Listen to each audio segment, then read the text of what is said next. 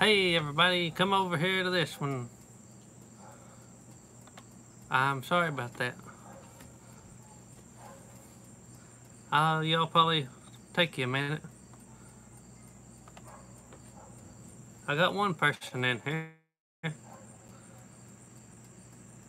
So, come in if you want to. I'll stay on here a few more minutes with y'all. Okay, they're coming back. We got 14 people back in here. Sorry about that, everybody. That's my good friend Kevin. He's a expert small engine mechanic, and he's also a fish biologist with the Department of Fisheries, and just a A1 good fella. And I had him work on my weed eater. I got a Husqvarna weed eater, and the head froze up and I thought the foot shaft was bad and he was going to change it, but uh, turns out it was just clogged up with junk. So uh, he got her lined up for me, and he's working on a Gravely for me. If y'all remember watching back a video back in the winter, I showed you my little Gravely I got, and uh, he's going to rebuild it and get it running so we can use it this year. Let's see. Vince says, wondering if you use different tomatoes, make it taste different, or should you just use the same type of tomatoes? Um, I also use is well, pretty well. I use about any kind of tomatoes I got. I don't use yellow tomatoes usually, but um, you want acidic tomatoes for uh, tomato juice because uh, you want it to be able to. I don't know if it ain't acidic, then uh, it'll spoil easy. But I use I grow Park's Whopper, and I have some. Uh, they're called Juliet, but they're like a little cherry tomato, and we've canned. We even put our uh, Cherokee purples and everything in there. And uh, pretty well all the tomatoes we have except the yellow. And the, the big heirloom, I got some big, called Big Rainbow, gets real big. And they're yellow and red striped. And uh, hello, Andy. From uh, Andy's Tennessee Life and Homestead. But I use about any red tomato there is.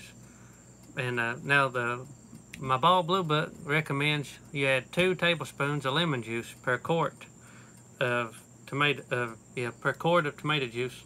That way you're guaranteed it to be acidic enough. But uh, I don't put it in mine, but that don't mean you shouldn't put it in yours. So Jared's not giving you the advice to not put it in your tomato juice. So uh, go by the blue book or can, uh, official canon recipe from the USDA, I'd say. Let's see.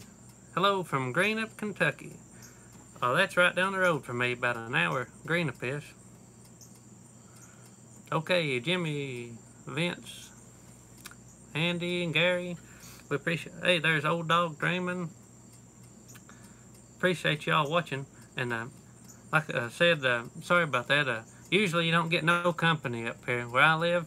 If I get company, it has to be somebody looking for me because, uh, or somebody that knows me because you can't find me any other way. But you have that sometimes.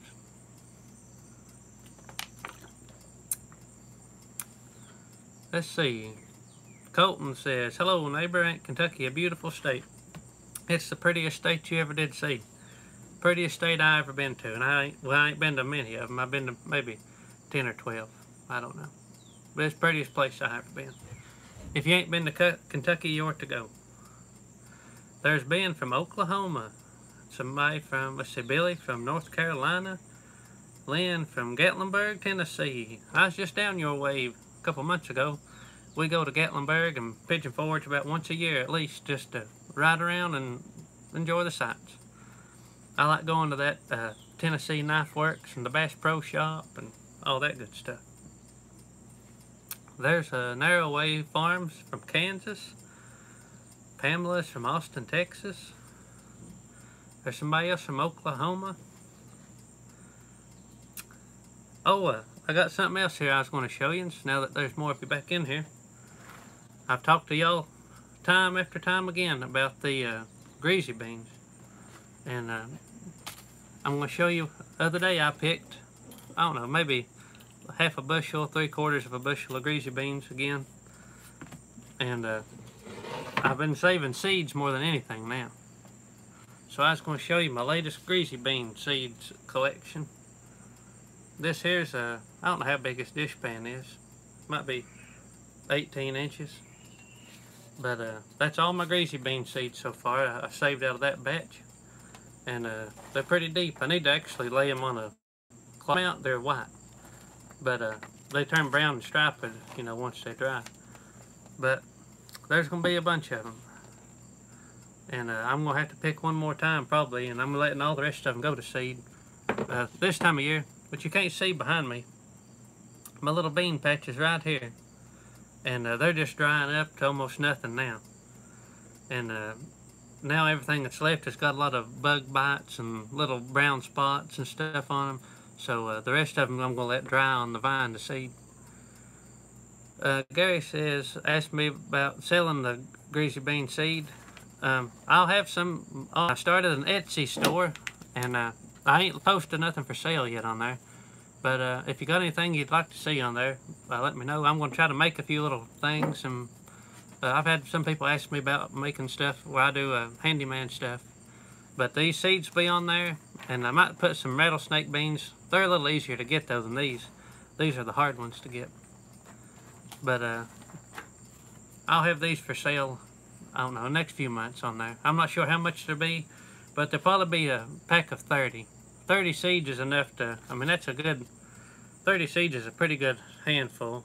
And that's enough to get you started, get you enough to, if you take care of 30 seeds, you can have a, a pretty good mess of beans. Let's see, Mike and Honey Homestead, or Milk and Honey Homestead, I'm sorry, said, you grow any tobacco this year? Uh, no, I didn't grow any this year. Um, I didn't take the time to get the seeds, and I didn't uh, go out and ask anybody about any plants. So I didn't grow any this year, and uh, maybe next year I'll uh, get a good variety that does good, and uh, we'll try it again. We'll have the barn done by next year, and I'll have a better place to hang it. This little shed, you can kind of see the roof back here. It stayed too moist to dry, and uh, it mostly mildew. The only ones that was uh, any count I hung in my little workshop, and uh, they dried pretty good, but there just wasn't enough of them. I didn't hang enough in there let's see, one, somebody, I can't read the name from here, said, uh, hello from Michigan, have you ever made leather breeches, dried beans? Oh yes, we make them every year. I ain't made none this year, but uh, I've got a fall crop of beans will be coming in in another month, and I'll be drying some of them. But we call them shuck beans here, or um, shucky beans, people call them, but they're leather breeches. I put them in a deep, excuse me, I put them in a dehydrator, and I let them dry for about a day, day and a half, depends, till they're, I mean, not crispy crunchy, but till they're dry. Let's see. Any additional videos you've been thinking about making? Oh, I'm a seed dummy. Any additional videos, how-to videos you've been thinking about making? Um, I'm getting ready to put up a how-to video on my braided onions. That'll be out probably this today's Monday. I try to put my videos on either a Monday, Wednesday, or Friday, but uh, sometimes I get busy and I can't get them out real fast.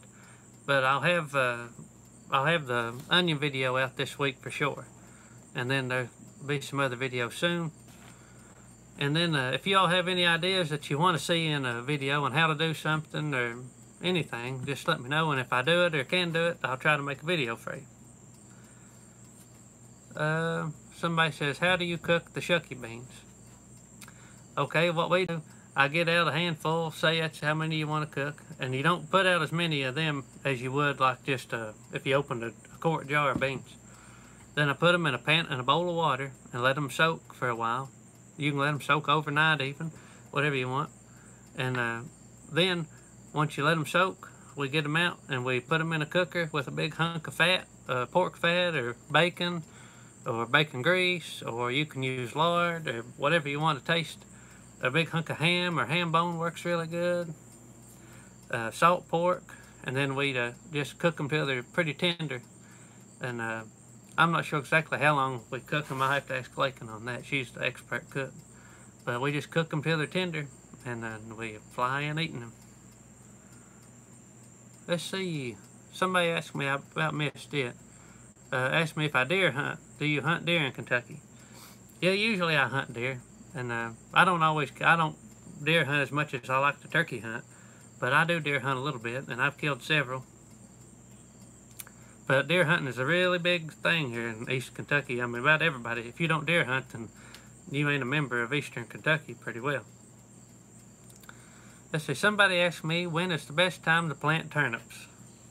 Well, I don't know where you live at and what your zone, how your zone works, but where I'm at, I usually start planting uh, my turnips, mustard, and kale towards the end of August when it's still warm, but uh, or you can plant them in September, I think, but you got to give them time to get started before it starts getting cold. Let's see. What else we got on here? Somebody want something. Ten Liz, he says show all. Uh, she's an animal lover and wants me to show all the animals, especially the big orange cat. He's not out here with me today. I don't know where he went to, but uh, I'll, I'll uh, do another animal video here soon. Let's see. Mary says, how many times do you add water to garden green beans? I've never cooked fresh garden green beans. Um, what we do when we cook a fresh green bean, you know, we put them in a pot and we put some kind of pork in there. Like the same with the shuck beans, salt pork, bacon, bacon grease or whatever. And then uh, we just, we put our beans in. We just put a little water in the bottom. We don't, we don't fill the whole pot full of water. We put a, you know, I don't know, inch and inch of water, inch and a half of water in the bottom. And that just kind of gets that steam coming up through them real good and cooking them. And then I don't, you don't stir them real hard. We take and just kind of fork them around a little bit. And then if they start boiling down, then you add a little water to them. But I mean, you don't add a whole big lot of water to them. But you shouldn't have to add much. Just every now and then, if it starts getting real low, you don't want them to scorch. Well, you add some water. Hope that helps you. I ain't the expert cook. We need Lakin out here for that. Let's see, somebody asked if uh, they make their beans in a pressure cooker. Yeah, you can use a pressure cooker. Well, we usually don't use a pressure cooker, but you can if you're in a hurry. And uh, I'm not sure how much water you add in a pressure cooker on it, but uh, I'd say you can find in a cannon book or in a, your pressure cooker book or online recipe tell you.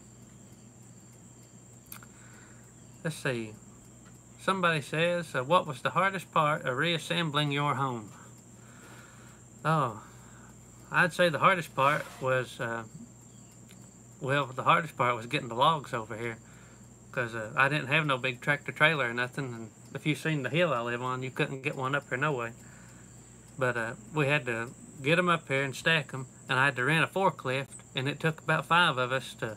I drove the forklift and we had ropes going off the logs and we'd raise it up. But uh, that was probably one of the hardest parts was everybody staying in sync and uh, stacking the logs and trying to get them level and all that stuff. And now the hardest part on a log cabin, I think, is the chinking. If you chink a whole log cabin, you should get some kind of award or medal because it is hard work. And I'm still chinking on mine. It's not done to this day. And uh, that's one of my next projects here soon is uh, finishing my chinking. Let's see here. Hello from Michigan. Have you ever done a batch of corn on the cob jelly? Uh, no, I ain't never heard of that, I don't believe. And uh, somebody, somebody asked me if I cure and smoke my own bacon. Um, now I have cured and smoked my own bacon. Um, I done a batch here a few years ago in a smokehouse. But uh, lately, when we kill a pig, we uh, we kill it here and take out any parts that we want to keep for ourselves.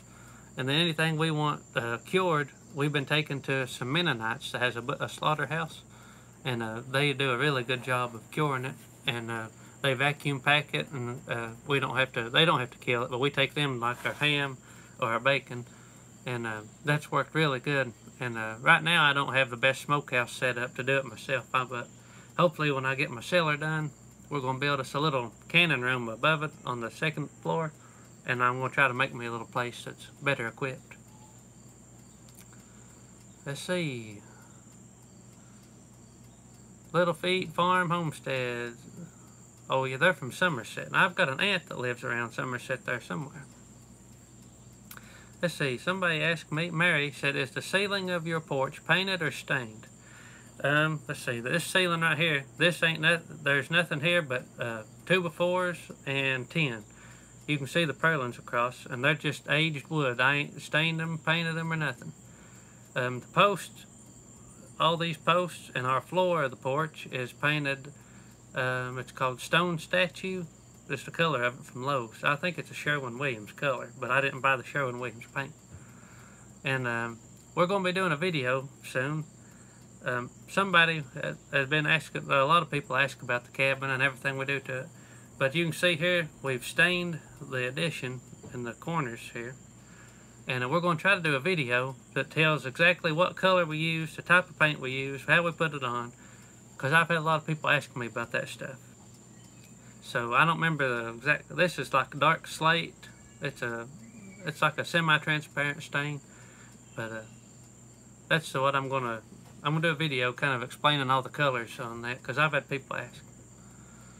Let's see. Somebody says, what is the nearest city to your home? Um, which I don't, I can't tell you exactly the closest, maybe the closest city to me, but I'm pretty close to Louisa, Kentucky.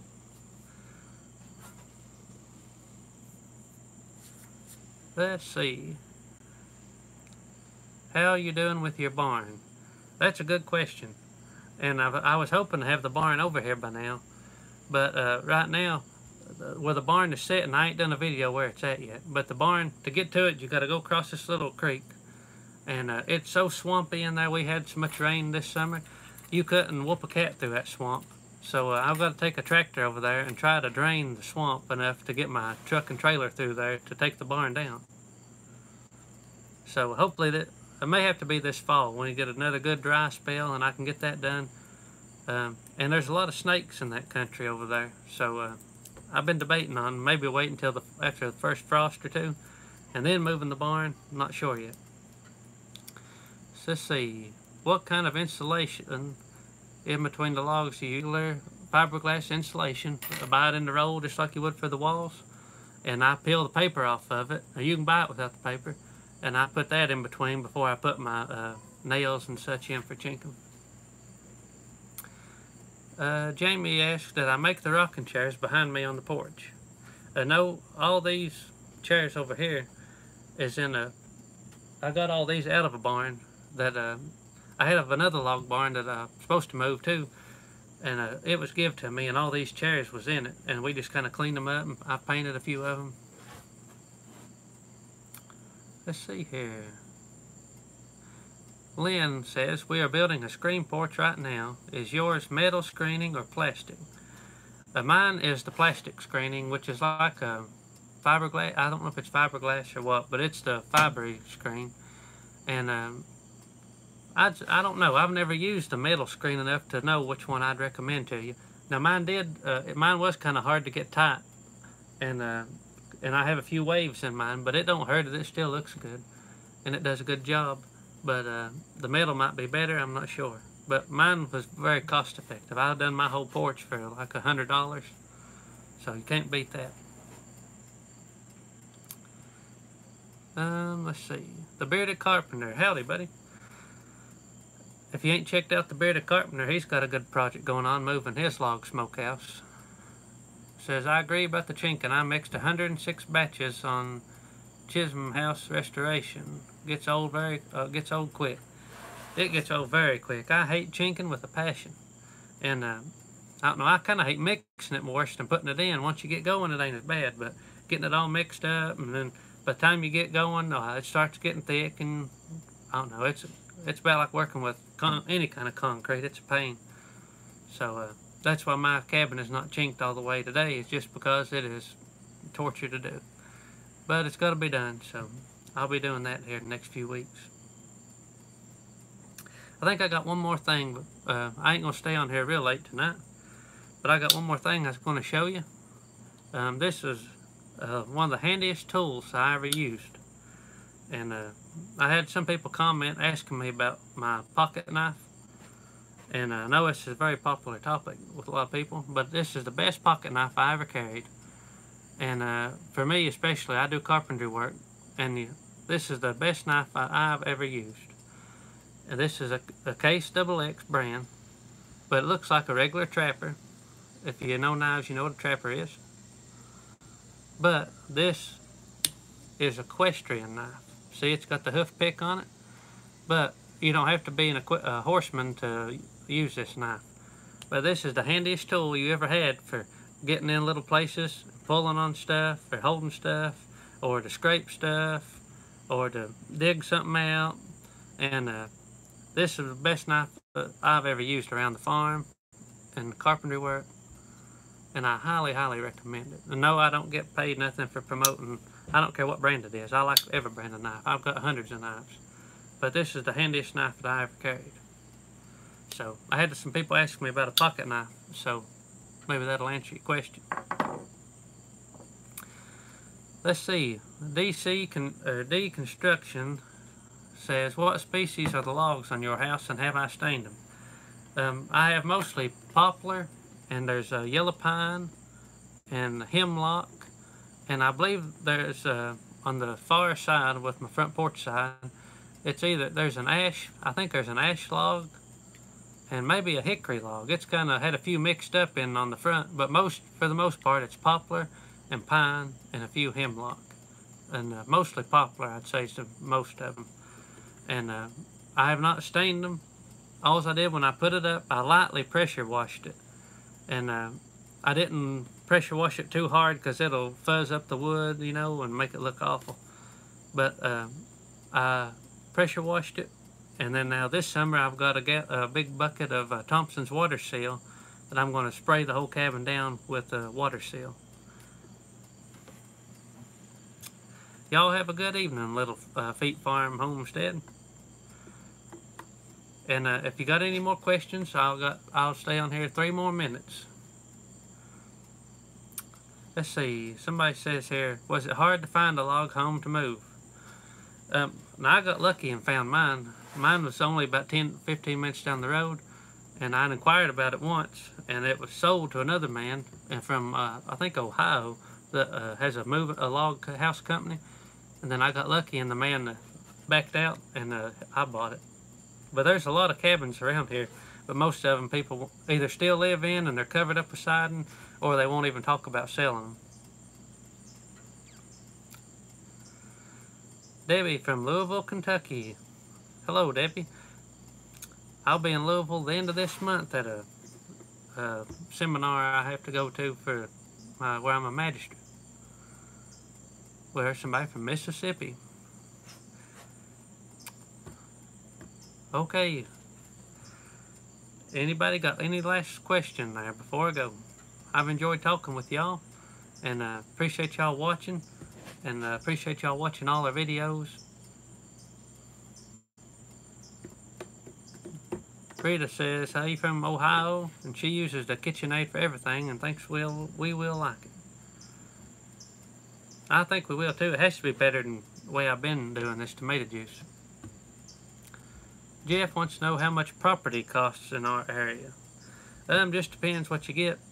Um, I've seen most of it's hillside, but I've seen it from a couple hundred dollars an acre to a thousand dollars an acre. Just depends uh, if it's got any flat land or it's got good timber on it. But there's uh, quite a bit of land for sale around here. Jimmy says a three-minute banjo tune. We'll play you one more while uh, y'all say your good nights and your goodbyes and all that. And uh, we'll try to do it again next Monday night, the Lord's will.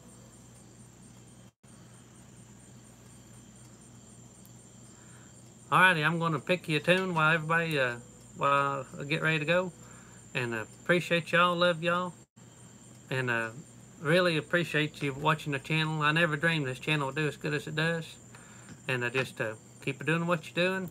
Hope y'all have a very blessed week. And uh, hope you have a good church you can go to on Sunday. And we love y'all from Fluty Lick Homestead.